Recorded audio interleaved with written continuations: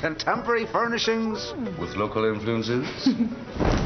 Luxuriously appointed bed. Mm, snorkeling. South facing sea views. You see? The wonders of looking before booking on the Thomas Cook website. And a fabulous ensuite. Naked lady. Ah, there you are. You're next door. Sorry. For hotel previews online and TripAdvisor reviews, don't just book it, Thomas Cook it. ATOL protected.